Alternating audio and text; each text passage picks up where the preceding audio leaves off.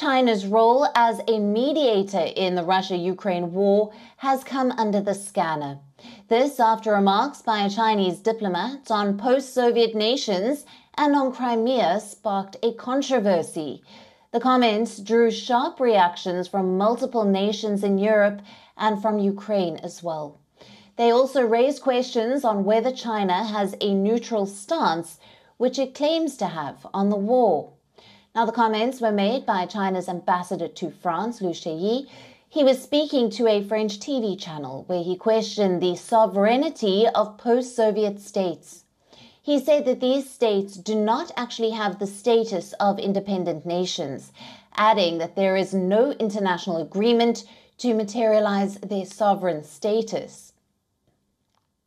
Now, Lu also spoke about the status of Crimea, a region of Ukraine annexed by Russia in 2014.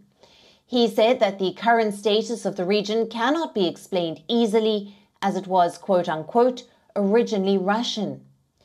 Ukraine, which is also a former Soviet state, reacted sharply to the comments. Ukraine's presidential aide described the comments as absurd. He also asked China to not parrot the Russian propaganda. Several European nations like Latvia, Estonia, and Lithuania condemned the remarks. They also sought clarification on whether the comments reflect China's stance. European Union's Foreign Affairs representative Joseph Borrell termed the comments as unacceptable. The comments of the Chinese diplomat come as an embarrassment to France, particularly to President Emmanuel Macron, Remember, Macron visited China earlier this month and met with President Xi Jinping to encourage him to put pressure on Putin to end the war in Ukraine.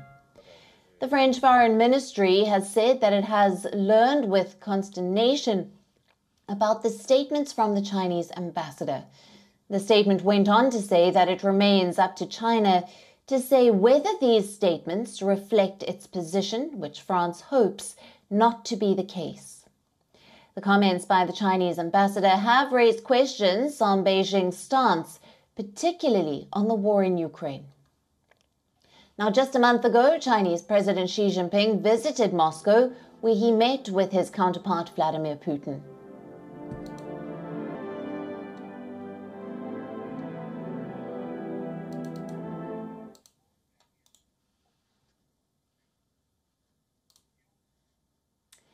And now for more on this, we are being joined by Yehor Abrelian, who is a senior journalist uh, governing international security and defense. Thank you for being with us.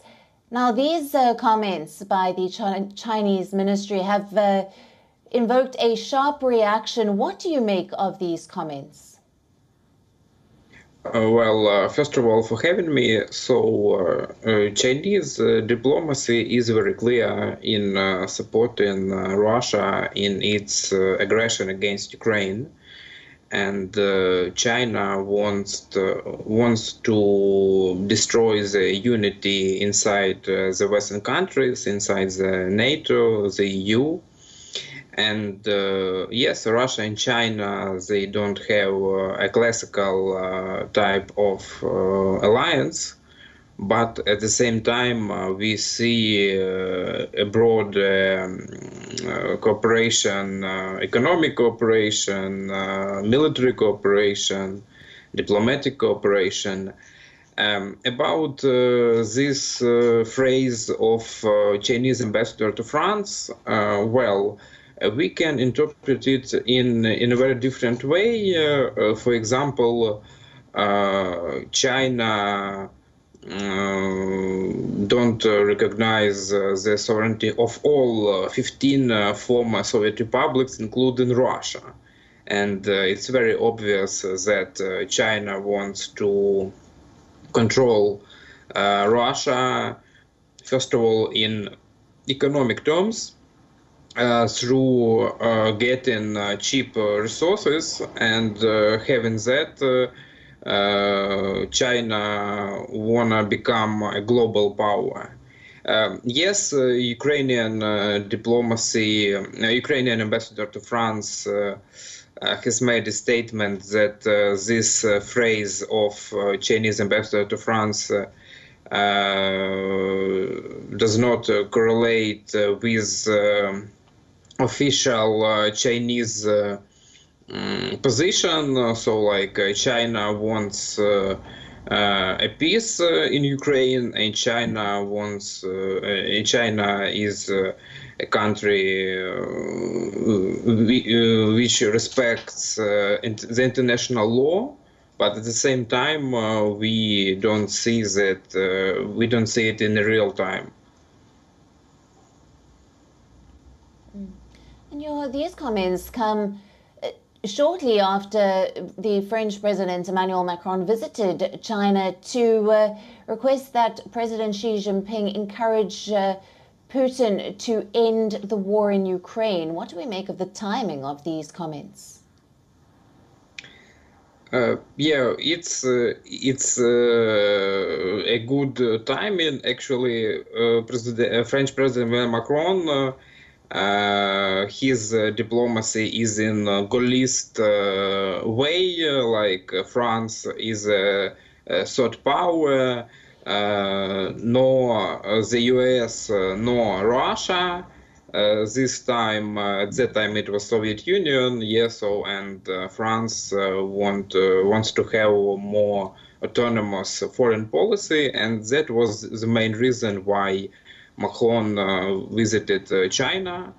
Uh, however, I I would I would say I want to say that this scandal with the Chinese ambassador to France uh, shows uh, that uh, the European response was very quick and actually French Ministry of Foreign Affairs they uh, they've made a statement that uh, this uh, phrase uh, violated uh, the international norms and uh, it's not the appropriate way to discuss the Russian-Ukrainian war.